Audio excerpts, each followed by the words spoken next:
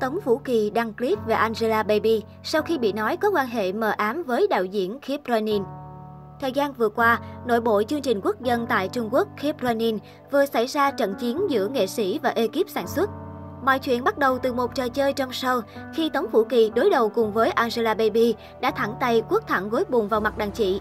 Nhìn thấy cảnh tượng này, fan Angela Baby bất mãn và đau lòng khi thần tượng hứng trọn cứu trời giáng vào mặt. Họ lên tiếng mắng chửi Tống Vũ Kỳ, cùng với đó là tố cô nàng có thủ đoạn mờ ám để có suất tham gia chương trình.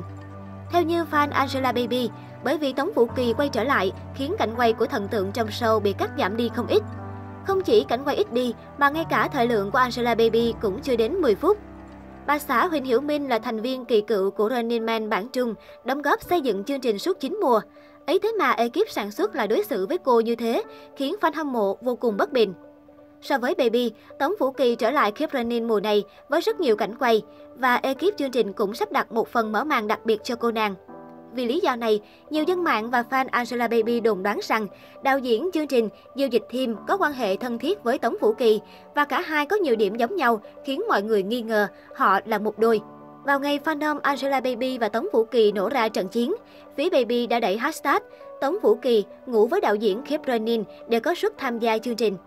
Hành vi này của người hâm mộ Angela Baby khiến phía Tống Vũ Kỳ và dân mạng vô cùng tức giận vì không bằng không chứng lại đi bôi nhọ, xúc phạm danh dự người khác.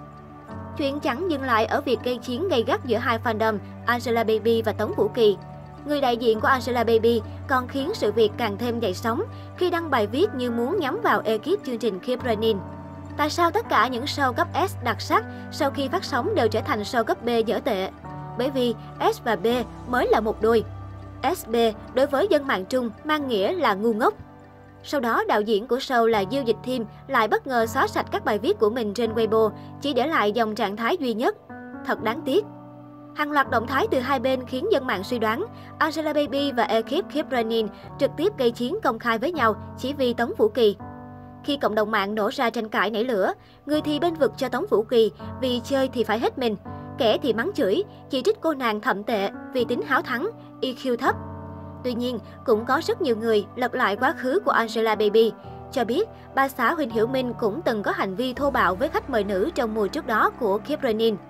Nhìn những hình ảnh này, không ít người mỉa mai rằng phía Angela Baby dám tỏ vẻ nạn nhân yếu đuối để tố Tống Vũ Kỳ hay sao, khi mà chính mình còn bạo lực hơn thế rất nhiều. Khi sự việc đang đến lúc cao trào, bất ngờ, người đại diện của Angela Baby lại xóa bỏ bài viết ẩn ý kia, rồi lên tiếng phủ nhận mình chưa bao giờ ám chỉ, nói xấu về chương trình Keep Running. Nói như vậy, thì hành động vô ý của phía Angela Baby đã khiến Tống Vũ Kỳ bị mắng thảm hại.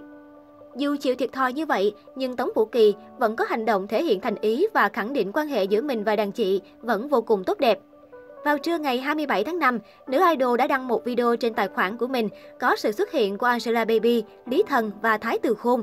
Cả ba thành viên của Keep Running cùng nhau biểu diễn điệu nhảy trên bài hát mới của Tống Vũ Kỳ để quảng bá cho đàn em. Trong video, Baby trông rất tươi tắn và rạng rỡ, không có vẻ gì giận dỗi hay xích mích với đàn em. Thế nên động thái này của Tống Vũ Kỳ như xóa tan tin đồn không hòa hợp giữa cả hai. Vì vậy, dân mạng cũng không nên đồn đoán quá nhiều về mối quan hệ của Angela Baby và Tống Vũ Kỳ. Fan của hai bên cũng không nên có những cuộc cãi vã quá nhiều và đến lúc chấm dứt trận chiến vô ích này.